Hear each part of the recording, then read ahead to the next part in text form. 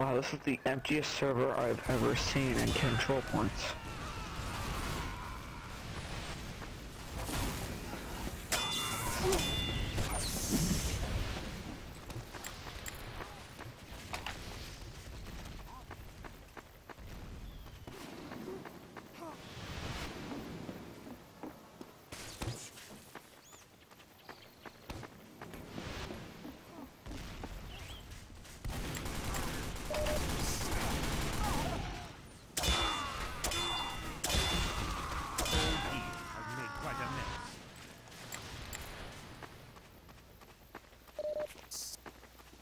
Has been added.